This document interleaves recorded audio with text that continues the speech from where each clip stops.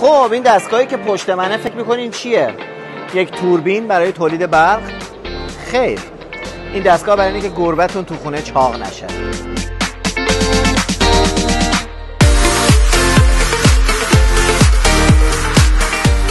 بعد از ازشون پرسیدم که نمیشه که این رو به یه دونه توربین وصل می‌کردیم و ازش برق هم تولید می‌کردیم گفتم به خاطر حمایت از حقوق حیوانات این کارو نمی‌کنیم